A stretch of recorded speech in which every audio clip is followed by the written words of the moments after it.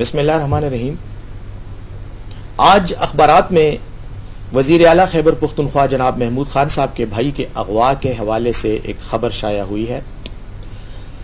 खबर का मखरज एमल मेलू, सॉरी एमल वली है, जिसने कल कहीं बयान देते हुए ये मनगढ़त लघ और बेबुनियाद खबर पर बात की।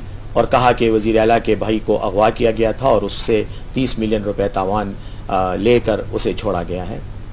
सबसे पहले तो मैं ये कहना चाहूँगा कि जहाँ पर तुम्हें सियासत करनी नहीं आती, सियासत की अलिफ बे से तुम वाकिफ नहीं हो, बात करने की तुम्हें तमीज़ नहीं है, इंसानों की तरह गुफ्तगु तुम्हें आती नहीं है, जानवरों की तरह तुम फजूल बातें करते हो, फजूल हरकतें करते हो मीडिया में एक मज़ाक बने हुए हो। सोशल मीडिया पर जितनी गालियाँ तुम्हें पड़ती हैं, अगर किसी गैरतमंद आदमी को इतनी गालियाँ पड़ी होती तो शायद वो अपने घर से बाहर भी ना निकलता।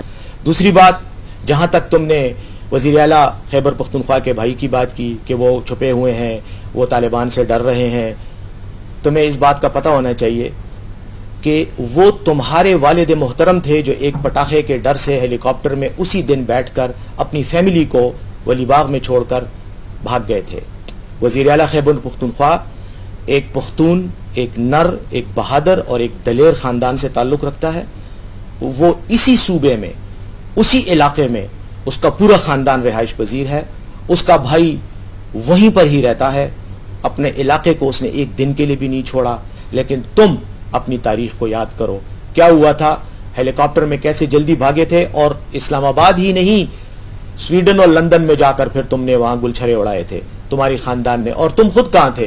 तुम दुबई में थे। तुम भी यहाँ से भाग गए थे। क्योंकि तुम भी यहाँ पर रहने के काबिल नहीं थे। तो थोड़ा सा याद रखो तुम्हारी फैमिली का माजी भी आ, लोगों को अभी तक याद है। कोई छुपा हुआ नहीं है। इजी लोड भी हमें याद है। दुबई में तुम्हारे खर्चे भी हमें याद हैं। बाकी चीज़ें भी इंशाल्लाह वक्त आने पर हम आहिस्ता आहिस्ता तुम्हारे बारे में बात करेंगे। सियासत सीखो तमीज़ सीखो लोगों से बात करना सीखो।